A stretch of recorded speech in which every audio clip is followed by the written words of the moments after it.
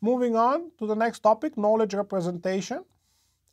So what is knowledge representation? Uh, well, it's essentially anything that has to do with storing uh, semantic information and being able to reason about it. So one of the important concepts in knowledge representation is the idea of an ontology. So an ontology may be, for example, the relation between different objects. Which object is a type of another object. So for example, a table is a type of furniture and a furniture is a type of object. So in knowledge representation, we have to deal with categories and objects. Those are very different things. A category is a set of objects, and categories can be nested in one another, whereas objects cannot be nested in one another, but objects can be part of categories. The other thing that we want to represent is events, times, and beliefs. So let's look at some examples. Objects, an example of an object can be Martin the cat. Category may be cat, and an ontology may have uh, the following uh, levels. A mammal category that includes the categories cats, dogs, and whales. And cat can include its own subcategories, for example, Persian cat or Manx cat. Now we can define two relations. The is-a relation, which is between an object and a category. So we can say that Martin is a cat. So Martin is an object, cat is a category.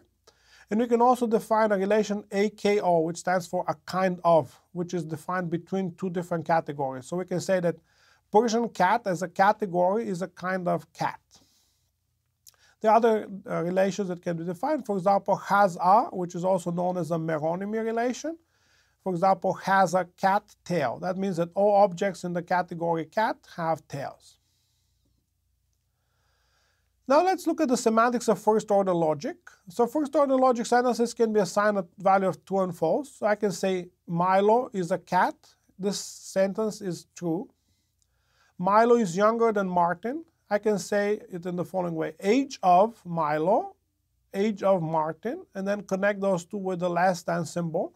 And this entire predicate has the value of true whenever Milo is younger than Martin. Uh, and I can also say that the age of Milo is not equal to the age of Martin in this case. Okay, now let's look at some examples with quantifiers. Suppose that we want to represent the statement all cats eat fish. Uh, one way to do this is to say for all x, if x is a cat, that implies x eats fish.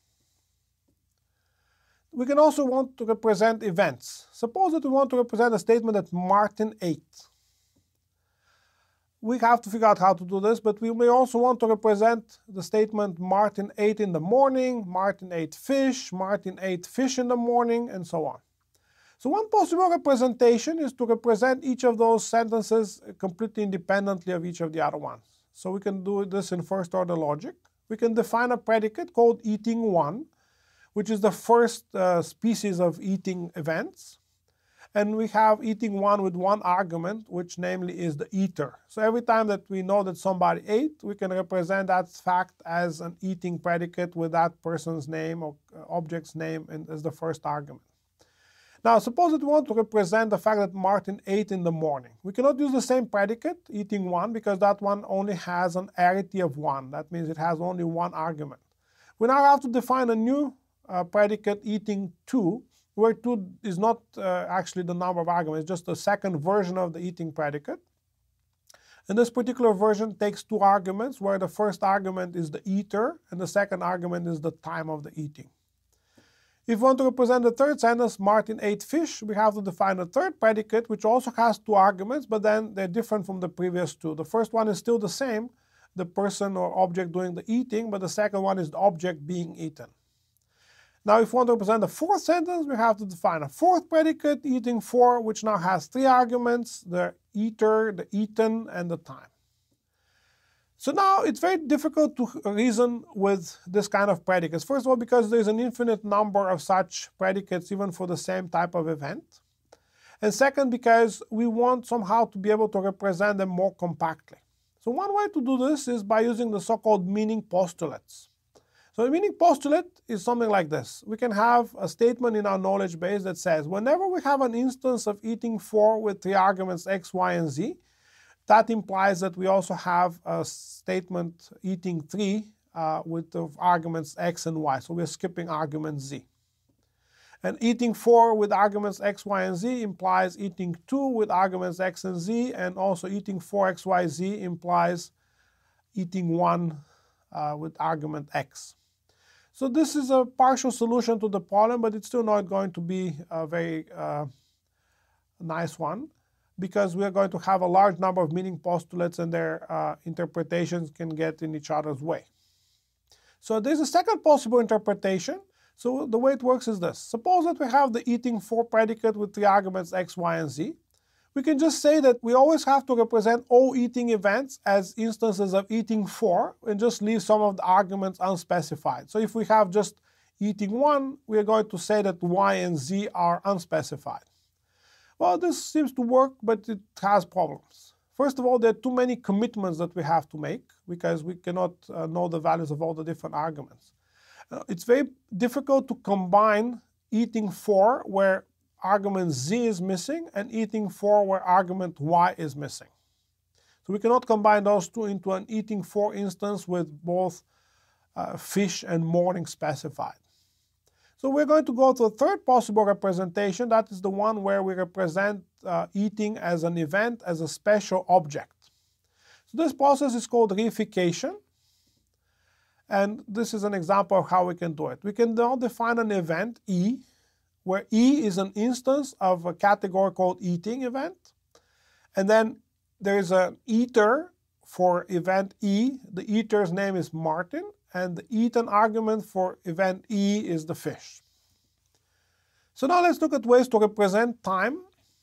Here's an example. We want to be able to say Martin went from the kitchen to the yard. So one possible way to do this is to say there is an event E where E is an instance of a going event. Going takes three arguments, a goer, an origin, and a target. The goer in this case is Martin. The origin of E is kitchen, and the target is yard. However, this representation doesn't take into account anything about time. We cannot say that, for example, you went from the kitchen to the yard in that particular order. So this representation doesn't give us any information whether the sentence is in the present or in the past or in the future. So let me introduce now an important term in semantics called a fluent. So a fluent is a predicate that is true at a given time. So for example, if I have the predicate t, it can be true at time little t. So here's now a slide that shows you uh, how to represent different relations between temporal events. So two events are said to meet if the endpoint of an event coincides with the starting point of another event. Before is defined when the endpoint of an event is before but not equal to the starting point of another event. During is when the start point of an event is after the start point of another event, and its end point is before the end point of that other event. And similarly, we can define overlap.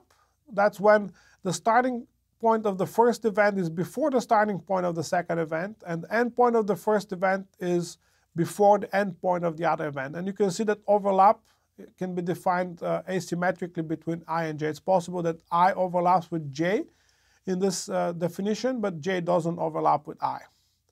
Starts is when two events start at the same time. Finishes is when they end at the same time. And equals is when they both start and finish each other. So this is an example from Russell and Norvig. And one more issue related to knowledge representation is the so-called Reichenbachian theory of time, which takes into account three different points in time, the point of the event, the point of the utterance, and the point of reference. So if we want to represent the sentence, I had eaten, we want to say that the utterance is done now, that's the U point. There is a reference point in the past, and there is an event that is even further in the past. So I had eaten, that's the event time. This happens before the reference point, which happens before the utterance. So simple past, I ate, is when the reference point and the event time are the same, and they both occur before the utterance now. Present perfect is I have eaten. That's when the event is in the past, but the reference point is in the present and coincides with the utterance time.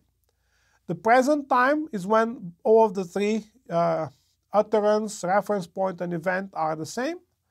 And now we have two instances of future tenses. Uh, simple future is when the reference point is equal to the utterance time, which is now, but the event happens in the future. And finally, we have future perfect. That's when the utterance is now, there is a reference point in the future, but the event happens somewhere between now and the reference point. So this is an example from Jurafsky and Martin. So the final thing that we want to represent is beliefs. Uh, let's look at an example. I want to say that Milo believes that Martin ate fish. So one possible representation is to say that there are two events. One event named E, which is an instance of eating, and another event called B, which is an instance of believing. And then we can have an entire uh, first order representation. Is a E eating, and eater of E is Martin, the eaten of E is fish. And then we have some information about the believing event. B is an instance of a believing event. The believer of B is Milo. And believe takes as its second argument an object of type eating. So the second argument of believed is E, the event of eating. So one problem with this representation is the following. In first order logic, if you have um, conjunction of multiple uh, statements, the truth value doesn't change if you drop some of them. So if you drop some of the terms above, you can infer that Martin ate fish, which is not correct because we don't know for sure if Martin ate fish. We only know that Milo believes that Martin ate fish. So representing beliefs in this kind of first order logic format is just not going to work because of this problem. So what people do instead, and again, uh, you can look at this in more detail if you uh, take a course in philosophy or logic, is uh, to use something called modal logic. So modal logic allows you to represent uh, higher order operators for possibility, time, and beliefs. So this concludes the section on knowledge representation.